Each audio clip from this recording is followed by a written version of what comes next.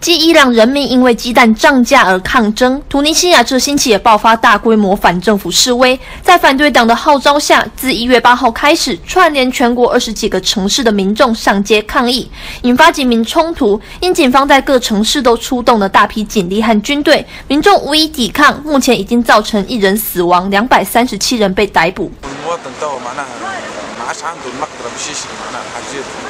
المواد الاوليه والغذائيه دونك مشيت يحتاج معناها حاجه عاديه فهمتني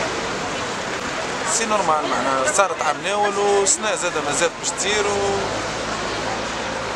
معناها حاجه عاديه باش الانسان يخرج معناها يطلب بحقه في البلاد 突尼西亚政府为了降低财政赤字，今年一月一号开始提高物价和税金，包括汽油、电话、网络等项目的费用都在上调的范围内，引发民众的不满。 反对党最后号召群众走上街头，表示政府一旦不收回成令，就会抗争到底。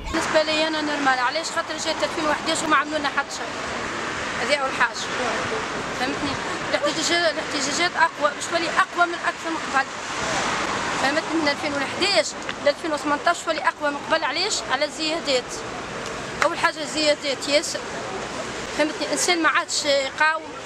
ما عادش حتى شريته ما عادش تواصل